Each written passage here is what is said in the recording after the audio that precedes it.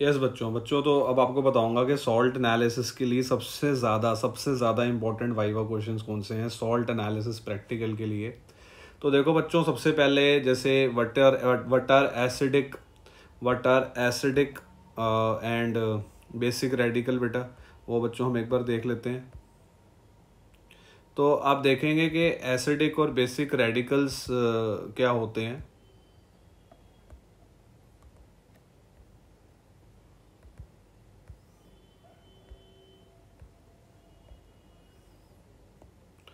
तो आप देखो बच्चे एसिडिक और बेसिक रेडिकल्स क्या होते हैं? तो आप देखोगे कि जैसे पॉजिटिव चार्ज वाला जो होता है बेटा यानी कि कटायंस को ही हम क्या बोलते हैं बेटा? कटायंस को ही हम क्या बोलते हैं? बेसिक रेडिकल्स और अनायंस को बच्चों हम लोग क्या बोलते हैं? एसिडिक रेडिकल कई बार ये भी नहीं पता होता तो छोटी छोटी बातें होती है लेकिन बच्चों कई बार ना हम भूल जाते हैं तो इसलिए हमें हर चीज़ का ध्यान रखना पड़ता है ठीक है ना? आ, उसके बाद बच्चों जो नेक्स्ट क्वेश्चन इसमें मेरे को बहुत अच्छा लगता है वो है ये आप देखोगे यहाँ से बच्चों, ठीक है? ये है ये। ट्वेंटी फिफ्थ क्वेश्चन जो बच्चों ये वाला आप देख रहे हो what is the what is the chemistry of flame test ठीक है? तो देखते हैं बच्चों what is the chemistry of flame test तो आप देखेंगे कि फ्लेम टेस्ट का बच्चों क्या होता है कि ना जैसे फ्लेम टेस्ट बहुत आसान है, जो कि ना हम basically barium cal barium two plus calcium two plus वगैरह के लिए करते हैं। तो इसकी केमिस्ट्री ये होती है बच्चों के ना, जिस, जो कटायंस की आयन जो जो जिन कटायंस में ना इलेक्ट्रॉन इजीली एक्साइट हो सकता है, वही फ्लेम टेस्ट देंगे। The valence electron gets excited and jumps to the higher level जैसे कि आप लोगों ने बेटे chapter number two eleventh class structure of atom में भी पढ़ा होगा कि जब हम किसी को हीट करते हैं तो उसके इलेक्ट्रॉन जो है ना, इस तरह से अगले शेल्स में चले जाते हैं। जैसे यहाँ पर इलेक्ट्रॉन तो यहाँ चले जाएगा। लेकिन वो थोड़ी देर बाद वापस आता है और वापस आता है तो एनर्जी छोड़ता है ठीक है ना? तो यही बच्चों यहाँ पर कंसेप्ट टाइप पर इसको आप रीड करके भी देखो कि क्या है केमिस्ट्री फ्लेम टेस्ट की। तो आप देखोगे कि पहले इलेक्ट्रॉन जो है वो पहले इलेक्ट्रॉन जो है वो आ, हीट होने पर मतलब जैसे किसी कोई एटम जो है ना वो हीट होने पर इलेक्ट्रॉन उसके कहाँ चले जाते हैं? उसके वैलेंस इलेक्ट्रॉन जो है वो एक्साइटेड हो जाते हैं। जम्स टू हाइयर लेवल फिर वो थोड़ी देर वापस आते हैं, है ना? क्योंकि इतनी हीट नहीं दे रहे कि इलेक्ट्रॉन बाहर ही निकल जाएगा। उसके बाद बच्चों, अगला क्वेश्चन आता है कि ये वाला, HCL जो है वो हम क्यों फ्लेम टेस्ट की पेस्ट फ्लेम टेस्ट बनाते हुए उसकी पेस्ट बनाते हैं? तो देखो बच्चों एच ना उसको सॉल्ट में कन्वर्ट करता है ना, ठीक है ना? विद मेटल क्लोराइड्स में जो कि इजीली फ्लेम टेस्ट जैसा कि वॉलेटाइल होते हैं मेटल क्लोराइड ग्लास रॉड को यूज़ नहीं करना बच्चे, ग्लास रॉड में सोडियम सिलिकेट होता है जो कि खुद का कलर देने लग जाता है। प्लेटिनम मेटल को क्यों प्रेफर करते हैं? फ्लेम टेस्ट देते हुए, क्योंकि प्लेटिनम जो है वो किसी चीज़ से रिएक्ट नहीं करता। तो ऐसे वाइवा के क्वेश्चन बच्चों बहुत इंपॉर्टेंट रहते हैं। आफ्टर दैट बच्चों आप देखोगे कि बेरियम सॉल्ट जो है वो एकदम से कलर क्यों नहीं देता? क्योंकि वो बेरियम का क्लोराइड थोड़ा सा लेस वोलेटाइल है। अच्छा उसके बाद बच्चों आगे की बात करें बोरेक्स बी टेस्ट वगैरह अब हम नहीं करते तो उसको बच्चों आप अवॉइड कर सकते हो। उसके बाद बच्चों, ये वाला क्वेश्चन तो मेरा फेवरेट है नेस्लर रीजेंट का फॉर्मूला बताओ। नेस्लर रीजेंट जो है बच्चों, उसका जो फॉर्मूला है, वो है K K two H G I four है ना? उसके बाद डेल्यूट सल्फ्यूरिक एसिड के ग्रुप में कौन कौन है? नाइट्राइट है सल्फाइट है सल्फाइड है कार्बोनेट है। डायल्यूट सल्फ्यूरिक एसिड को क्यों बच्चों हम लोग प्रेफर करते हैं? डायल्यूट एच को इसलिए प्रेफर करते हैं, क्योंकि डायल्यूट एच जो है वो अगर आप डायलूट एच फिर अपना ही, देखो आगे ना during H C L gases evolve जो कि बार बार क्लोराइड का टेस्ट देने लग जाएगा। ठीक है? H C L gas is also given out so the actual gas can not be identified concentrated sulphuric acid के ग्रुप में कौन कौन आता है? एसिटेट ऑक्जलेट नाइट्रेट आता है।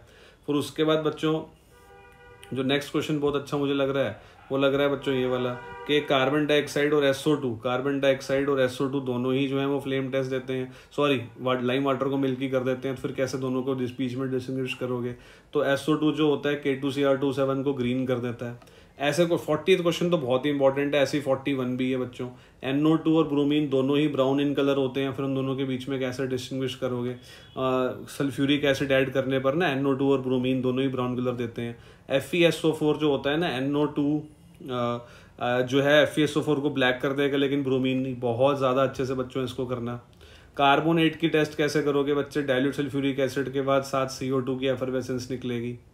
और लाइम वाटर क्या होता है? कैल्शियम हाइड्रोक्साइड होता है। अगर ज़्यादा सी ओ टू पास कर देते हैं लाइम वाटर से तो फिर क्या होगा? लाइम मिल्कीनेस हट जाती है, क्योंकि कैल्शियम हाइड्रोजन हाइड्रोजन कार्बोनेट बन जाता है। उसके बाद बच्चों, देखो, सल्फाइड का टेस्ट बताओ। सल्फाइड का टेस्ट क्या है? डाइल्यूट सल्फ्यूरिक एसिड ऐड करोगे तो रॉटन एग जैसी स्मेल आएगी, जो कि लेड एसिटेट का, के पेपर को जो है वो ब्लैक कर देती है।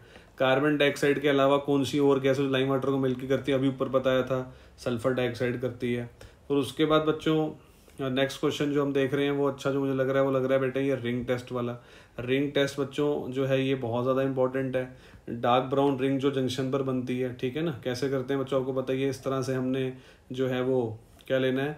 Freshly prepared ferrous sulphate solution is added to the salt solution ठीक है ना? यहाँ पर सॉल्ट है, उसमें हमने फेर फ्रेशली प्रिपेयर्ड फेरासल्फेट ऐड कर दिया और फिर इस टेस्ट ट्यूब की ना साइड से, ऐसे करके ना, ऐसे टेस्ट ट्यूब को यहाँ पर ड्रॉपर से बेटे ड्रॉपर से जो है ना कंसनट्रेटेड सल्फ्यूरिक एसिड ऐड करोगे तो ऐसे ब्राउन रिंग बनेगी, ठीक है ना? जंक्शन पर ब्राउन रिंग जो है वो बनेगी। इसको हम बोलते हैं test for nitrate brown ring बड़ा फ़ेमस टेस्ट होता है बेटा। और उसके बाद आ जाता है टॉलेंस रिजेंट तो बहुत ही इंपॉर्टेंट है silver ammoniacal silver nitrate solution उसके बाद डार्क ब्राउन रिंग जो है वो जंक्शन पर क्यों बनती है? तो कहते हैं एस्ट्रोसोफोर being heavier from the lower layer and reacts only with the small amount of nitrate F E S O four at the surface there and therefore brown ring ठीक है ना? कि एस्ट्रोसोफोर थोड़ा हैवी होता है तो नीचे नीचे जो रहता है react only with small amount of nitrate उसके बाद बच्चों क्रोमाइल क्लोराइड टेस्ट तो बहुत ही ज़्यादा पूछते हैं, ठीक है ना? तो heat a small amount of mixture with ये क्लोराइड के लिए होता है बच्चों क्रोमाइल क्लोराइड तो इसमें बन जाता है। तो पहले heat a small amount of mixture with sulphuric acid solid K two C R two seven add करने के बाद डीप ब्राउनिश रेड वेपर्स आते हैं किसके? क्रोमाइल क्लोराइड के। Pass these vapours in water yellow precipitate थोड़ा सा लर्न करना पड़ेगा आपको। उसके बाद बच्चों, आगे की बात अगर करें तो ये वाला क्वेश्चन बच्चों, मेरे को थोड़ा अच्छा लग रहा है कि ब्रोमाइड्स और आयोडाइड्स जो होते हैं, वो क्यों नहीं करते क्रोमाइल क्लोराइड से? तो कहते हैं कि ये चीज़ें, ये जो चीज़ें ना, जैसे chromyl bromide chromyl iodide compound होते ही नहीं है। अच्छा उसके बाद बच्चों, आगे की बात करें तो ओरिजिनल सोल्यूशन जब हम बनाते हैं, वो कभी भी निट्रिक एसिड में नहीं बनाते बेटा। निट्रिक एसिड खुद ही ऑक्सीडाइज कर देता है चीज़ों को। ये वाला तो मतलब आना ही आना है ना। ये मैंने पिछली वीडियो में भी डिस्कस किया था बच्चों, आप लोगों के साथ, कि टेबल कि ग्रुप वन का क्या है ग्रुप टू का क्या है तो बहुत ही ज़्यादा इंपॉर्टेंट है। उसके बाद बच्चों, यहाँ पर इन्होंने जैसे आप देख सकते हो कि N H four C L जो है वो क्यों ऐड करते हैं N H four O H के साथ?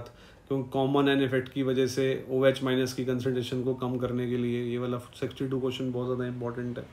और उसके बाद जो है यहाँ पर ग्रुप टू वाला, ये वाला क्वेश्चन ग्रुप सिक्सटी के एल को ऐड करते हैं ताकि सल्फाइड आयन की कंसनट्रेशन को कम किया जा सके। ये वाले क्वेश्चन ज़रूर करके जाना बच्चों। और उसके बाद है, ऐसे बच्चे आप देख रहे हो कि ये वाला एच टू एस गैस क्यों पास करते हैं N H four O H के साथ? ताकि बढ़ाया जा सके सल्फाइड आयन की कंसनट्रेशन को। मेरी पिछली वीडियो ज़रूर देखना, जिसमें मैंने बच्चों बताया है basics of common ion effect and solubility product ये भी बच्चों सिक्सटी फाइव क्वेश्चन भी उसी तरह से बना हुआ है। कि एन एच अमोनियम कार्बोनेट के साथ साथ N H four C L को डालना ताकि कार्बोनेट की कंसनट्रेशन को कम किया जा सके। उसके बाद बच्चों, एक ये वाला क्वेश्चन भी बहुत इंपॉर्टेंट लगा मेरे को। सोडियम कार्बोनेट क्यों नहीं ले सकते अमोनियम कार्बोनेट की जगह पे?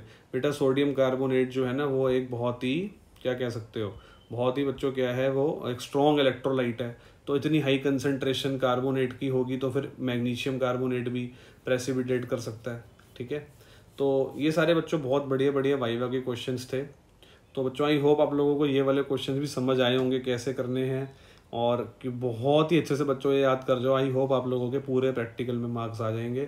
Thanks for watching the video and do watch this video again and again to understand the concept क्योंकि केमिस्ट्री प्रैक्टिकल के जो ये वाले कॉन्सेप्ट है, ये ट्वेल्थ में थ्योरी में नहीं है तो आप लोगों को मुश्किल लगते हैं बच्चों, इसलिए इस वीडियो को बार बार आगे पीछे करके देखो तो आपको बहुत अच्छा लगेगा।